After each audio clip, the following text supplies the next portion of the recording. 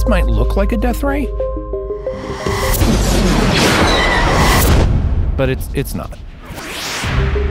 It's actually one enormous, very accurate magnifying glass. This magnifying glass has a technical name a sunlight refinery. To use it, find somewhere really sunny, plop down a bunch of mirrors, bounce the sunlight into a single spot, and you can melt just about anything. Okay, so it is kind of death rayish. Why do this? Because manufacturing steel or cement requires a lot of heat, and making something super hot has historically meant burning dinosaurs. You look at the massive carbon footprint that is associated with these industrial applications, and it, it can't be ignored. 20% of global carbon emissions, to be precise. And because this technology is so good, it might just change the entire energy industry and prevent World War III in the process. This is Hard Reset, a series about rebuilding our world from scratch. Just east of Six Flags and north of LA is a place called Lancaster, which is very flat, very hot, and a perfect place to test a takeover of the world's energy supply. Yeah, that sounded more Bond villainy than I thought it would. Anyway, these are called heliostats. And the reason this solar refinery works so well is that under these mirrors and shot glasses are pretty simple motors that they can control remotely. This allows the mirrors to change angles throughout the day depending on where the sun is. How do they know where the sun is? Interns. No, AI. Of course. You need to take each of thousands of mirrors and point them very, very precisely, accurate to about a tenth or a twentieth of a degree. That's Bill Gross, genius visionary and founder of over 150 companies. Also, super nice guy. Thank you. I really appreciate it. At the top of the tower, high resolution cameras monitor the position of the mirrors below. You can actually see the two at the top are the easiest to pick out because they're on booms above the receiver. So Heliogen gets all those mirrors to reflect sunlight into that big target at the top. So what we've got just above us is the solar receiver. Uh, so you can see that's you know what we saw from ground level. That's where that concentrated sunlight is focused when the field is operating. The cameras know if the mirrors are bouncing into the sun because those cameras are assessing the quality of the sky's blue. Let's break that down with Steve, who has cool tattoos. This is my robot battle armor. What I have here is is a jungle on an alien planet with robots tending the, the garden. And is in charge of the technology stuff here. What these cameras see is a reflection of the sky close to the sun. Close to the sun, the sky appears very bright from the scattered sunlight coming through it. And the further away from the sun you look, the darker or less bright that patch of sky appears to be. So the cameras look at the color blue, and the AI uses that information to assess the distance from the sun, deduce the orientation of the mirror, and therefore where the beam is going. So every few seconds, we get a measurement of where that beam is going, and we can command the heliostat to make small corrections to optimize its tracking. In this industry, that is a complete game changer. Because now we don't rely on the hardware to be so precise, we have software to make it precise. So it really changes everything about how that plant operates and allows us to reach higher performance levels at a much lower cost. So, software that controls accuracy, not hardware. And the more accurate those mirrors can be throughout the day, the fewer of them they actually need. More importantly, it allows Heliogen to do something that no other concentrated solar refinery has been able to do generate temperatures north of 1000 degrees Celsius. People have done mirror concentration before, but they've achieved 400 degrees, 500 degrees. We've achieved 1500 degrees. That heat is important because solar energy needs to be used immediately or stored somehow. Batteries are expensive and problematic, but you know what's cheap and safe? Just normal rocks. You have a rock collection? It's a mineral collection. And we take that high temperature and we bring it down into a rock bed. We literally heat rocks to 1,000 degrees centigrade. The temperatures are so high, the metal actually can't take it. So we put the insulation on the inside to protect the steel from those high temperatures. If you heat rocks to 1,000 degrees centigrade with the photons, they now stay hot even after the sun goes down.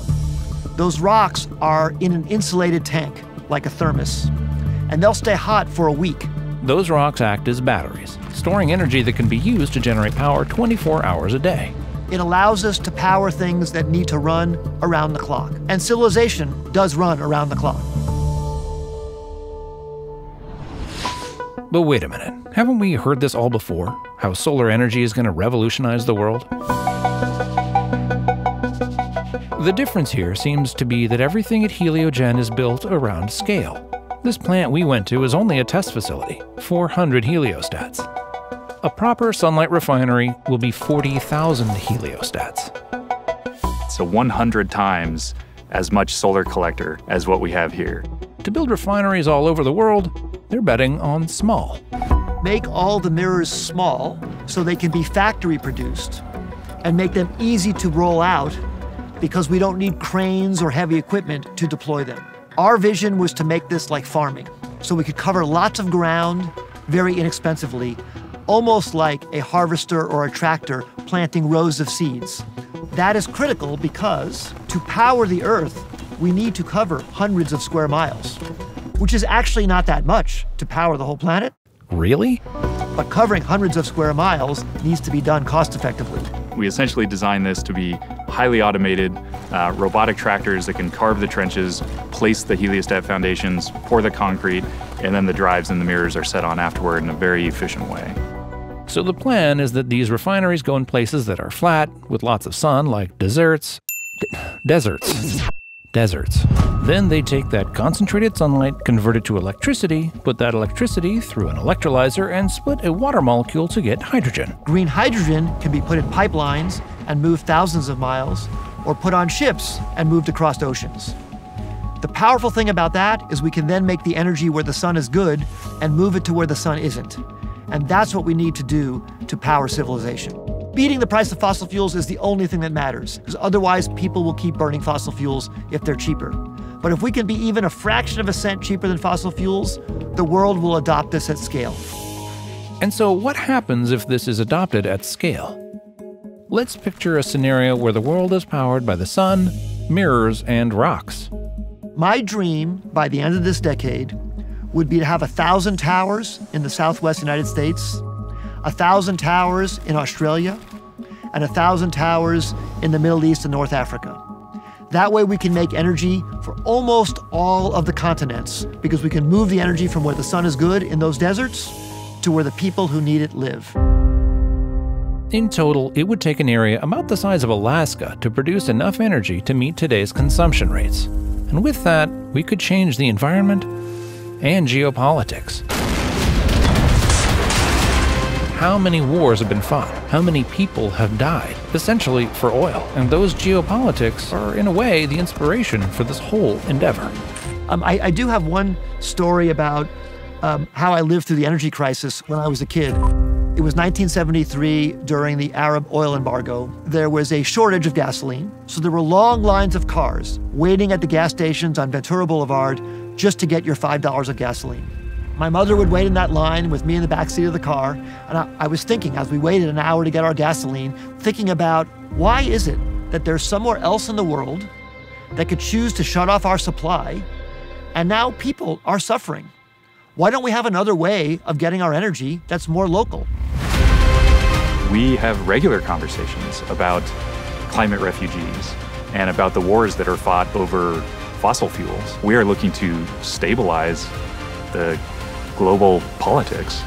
The sun is the most evenly distributed natural resource we have, except for air. So why can't we take that resource and convert it to the energy we need near where we are and not have to take it from someone else far away? So I feel like my whole life and everything I learned allows me to be in the right place at the right time to make a positive difference on this thing that the world cares about so much right now. Come back next time for another episode of Hard Reset. Subscribe to Freethink to watch our other original series and documentaries about technology and people that are changing our world.